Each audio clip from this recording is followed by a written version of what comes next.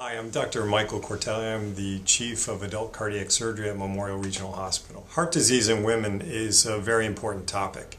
Uh, historically, women have been thought not to, to get heart disease. It's really been a disease of men.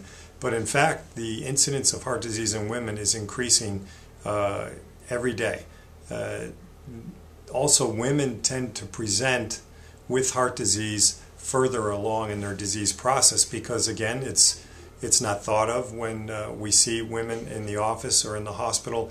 But also, women tend to have more silent symptoms, if you will.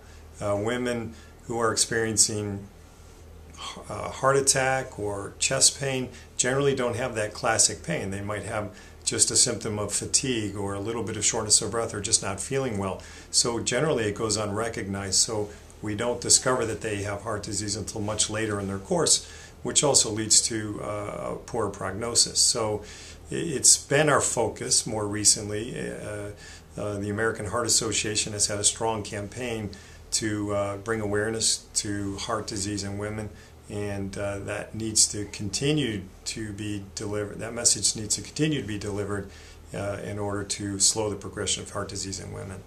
I think here at Memorial Regional Hospital, we have a first class team assembled that can provide uh, cardiac surgery services to the uh, general public. What makes us special, I think, is really the quality of our team.